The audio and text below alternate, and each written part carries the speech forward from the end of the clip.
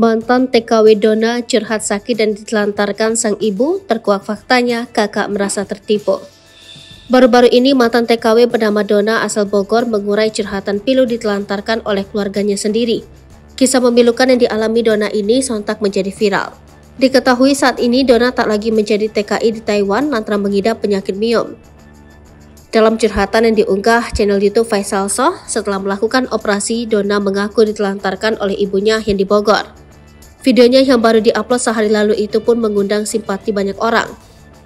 Sementara itu, pihak keluarga mengaku kaget dengan pernyataan Dona yang seolah-olah tak diperhatikan sama sekali.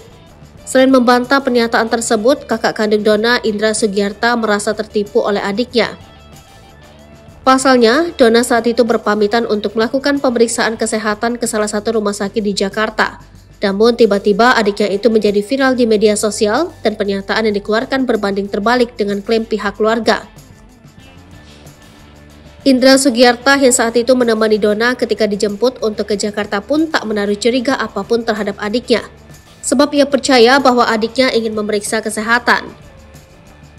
Sebelumnya diwartakan, Dona mengaku selama bekerja di Taiwan ia rutin mengirim uang ke Indonesia. Namun saat ia sakit miom dan harus dioperasi, Keluarganya seolah tak mau ikut campur. Saat tinggal di rumah orang tuanya, Dona bahkan diperlakukan tak layak bahkan soal makanan. Awalnya Dona dipulangkan ke Bogor oleh pacarnya Heru, namun tiga hari kemudian Heru memutuskan hubungan mereka secara sepihak. Dona pun sakit hati lantaran kekasihnya itu hanya memanfaatkan dirinya saat masih sehat saja. Selama tinggal di rumah orang tuanya, mantan TKI itu pun kerap diperlakukan tak layak. Ibunya bahkan secara terang-terangan mengaku sudah tidak sanggup merawat Dona. Hal itu disampaikan kepada Dona saat minggu pertama dirinya tinggal di Bogor.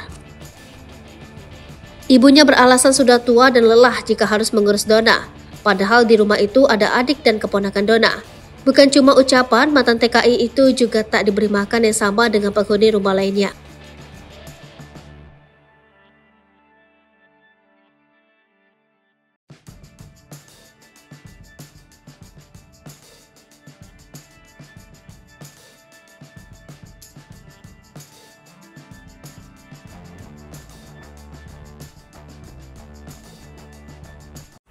Download Tribun X sekarang. Menghadirkan lokal menjadi Indonesia.